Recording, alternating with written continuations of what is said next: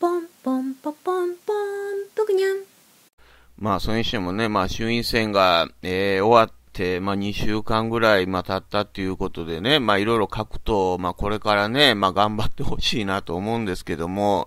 まあ、やっぱりその、まあ、今回、41議席ですか、まあ、40議席ぐらい取った、まあ、日本維新の会がね、やっぱり、まあ、あの、いろいろ、えー、まあ、これからどういうふうな動きするかっていうのも注目、まあ、されてるかなと思うんですけども、まあ、このね、まあ、あの、日本維新の会でですね、まあ、副代表でもあるですね、大阪府の吉村知事が、えー、これ維新の、えー、小野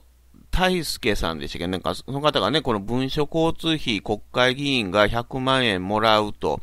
えー、まあ、それが10月31日ですかね、えー、に当選した10月分の文書通信交通費の滞在費というのが、えー、たった1日しか、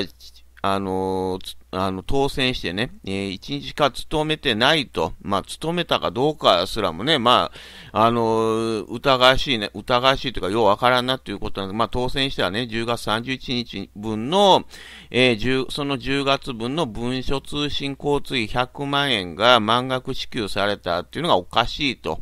えー、いうことで、まあ、これ維新がね、まあ、鬼の首取ったように、この吉村さんもですね、おかしいおかしいって言ってはったわけですよね。いや、確かにおかしいなと。えー、1日100万円、1日だけでね、まあ、しかもこう当選した日ですから、えー、まあ、議員としての仕事もやったかどうかわからんのに、こう、100万円支給されるっていうのは、やっぱ僕もおかしいなと。まあ思いますしね。まあこれについて日割りにすべきだとか、まあそういう議論はね、あの、まあこれからされていって変えるべきだと僕も思いますけどもね。で、それが、まあこれ吉村さんが、まあ鬼の首取ったように、吉村府知事がですね、鬼の首取ったように、こうおかしいと、なんで1日だけ勤めてて100万円、えー、もらうんだっていうことをね、まあ言って、ってたみたいで、いや、僕はでもね、まあ、それも大きな問題なんですけども、いや、僕はそれより大きな問題っていうのは、やっぱこの維新の議員の不祥事についてね、まあ明らかに、えー、まあ他の党より目立つというかあるのにですね、まあそれが全然、あの、責任も取らないとかね、なんかうやむやに、えー、な、なっていったっていうのが僕は維新の一番の問題だと思うんですけども、まあそこについての、だからこんなね、なんか1日、ね、100万円確かにおかしいですね、というのは思うんですけども、じゃあ自分たちのやった、起こした不祥事、起こした議員とかについてですね、それこそ、あの、すぐけじめ取るようなね、あの、仕組みにしろよっていうね、維新自体のね、っていうのは思うんですけども、まあ、そこについての疑問っていうのは、有権者っていうのは、あの、どう思うのかなっていうのは僕はずっと思ってたんですけども、まあでもこの100万円がですね、まあそれはおかしいと。まあ、いうことで、まあ、これ維新を中心に国民民主党もね、最近国民民主党は維新にこうすり寄って、えー、あの、国民民主党の玉木さんがね、維新にすり寄ってるっていうのが、えー、まあ、ニュースとかでもね、まあ、よく見られるかなと思うんですけども、まあ、国民民主党もなんか考えた方がいいとかですね。で、まあ、維新としてはこの100万円を、えー、文書通信の100万円をですね、返すと。えー、いうことを寄付するんですかね。返すんじゃなくて寄付するんですね。10月分の徴収を、えー、コロナ対策で必要としているところに寄付する考えということで、これ、ま、維新の松井代表がそういう考えを示したということで、えー、まあ、これも僕はね、これも僕はちょっと、あの、なんていうんですか、多分その、国庫に変変換するとかってわかるんですけども、その、100万円を受け取って寄付するっていうのはどうなのかなっていうのも思うんですよね。あの、いや、どこに寄付すんのっていう。あの、コロナ対策で必要としてるところに寄付するっていうのもですね、ちょっとわかりにくいなっていうね。いや、これもどこへ寄付されるのかっていうのも、やっぱきっちり、あのあ教えていただきたいかなと思いますね。なんか自分たちの関係するところに寄付したら意味ないんちゃうかなっていうふうにも、まあ思ったりするんですけども、まあまあこれはこれでね、あのおかしいっていう、まあ議論、一石を投じたことになると思うんですけども、まあただこの吉村知事が100万円もらうことおかしいおかしいって言ってたのがですね、それが、え、吉村さんも前衆院議員やったんですけども、まあ、その時2015年ですか、で、その2015年の10月、え、に、えー、ですか、6年前に、あの、文書交通費、えー、100万円を丸々もらってたっていうのがですね、これがなんか、えー、トースポとかですね、まあ、スポーツ新聞にも、なんかいろいろ書かれてると。えー、6万、えー、トースポやったら6年前の1日100万円を慌てて寄付表明と。で、これ、あの、吉村さんが自分で気づいたのかどうかっていうのはわかりませんけども、これ、令和新選組の大石明子衆院議員がですね、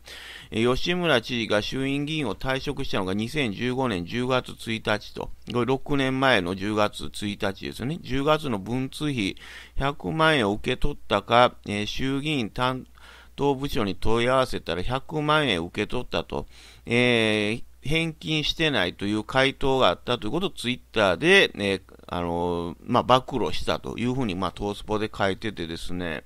これ吉村さんというのは大阪市長選に出るからですね、国会議員を辞めたみたいですね。で、その時、えー、10月1日、これ1日で辞めてるんですよね。で、その1日辞めたのに、10月の文通100万円を吉村さんが受け取っていたっていうのは、これも何なのかなっていうね。で、これが指摘されたからなのかなんか知りませんけども、6年前のものを今日になってですか、慌てて寄付を表明すると。えー、記憶が曖昧ですが、文通費を受け取り、受けていますというふうに、まあ、ツイッターに書いてるっていうことで、で、まあ、文通費のおかしさを僕自身が取り上げていると、けじめがつきませんから、えー、6, 万6年前のことですが、満額寄付をいたしますというふうになんかツイッターに書いて、まあ、寄付表明をしたということなんですけども、まあ、こういうとこがね、僕は維新らしいなっていうかね、なんかほんとこう、まあ、パフォーマンスっていうかね、なんか、いや、あのー、いや、この100万円がた、1日で、1日だけで、こう100万円満額もらえるっていうのもおかしいっていうのはおかしいですしね。ただでも、ただ維新っていうのは、本当そのいろんな不祥事っていうのがね、まあ他の党よりも、えー、目立つと。で、それに対して、今まできちっとですね、議員辞職とか、なんかそういうけじめっていうのをきちんと取ってきたのかなっていうと、いや、そんなあったかな、みたいなね。えー、っていうのが、僕はそこが僕は維新のおかしさだと思うんですよね。だからそこをね、なんかこう、あの、そういうとこはなんかきちんとせずに、なんかこういうことだけおかしいと。えー、っていうふうに言ってですね、ほんで、この吉村さんも6年前のは自分の分は受け取ってたわけでしょと、1日だけのやつ100万円っていうね。で、これ、あの、今になって寄付表明するっていうのは何なのかっていうね、その今まで受け取ってた分の、あの、なんていうか責任っていうのは感じへんのかなって僕なんか思ったりするんですけども、いや、あ僕はいろいろね、な引っかかるとこはあるというかね、あのー、寄付表明って言っても、やっぱどこに寄付すんのかなっていうのもすごく気になりますし、えー、これなんていうんですか、僕はなんか国に返したらいいんちゃうのって思うんですけどもね、だからそういうことができる仕組みなんかどうかっても僕はよう知りませんけども、いや、何らかの、えー、ものに、えー、できると思うんですけども、なんかその辺が僕はちょっと引っかかるかなっていう気はしますけどもね。まあなんかこんなんでね、あの、まあ、維新もですね、まあ40、えー40議席ぐらいね、まあ、勝ったと言ってもですね、まあ、この、えー、一党ではですね、なかなか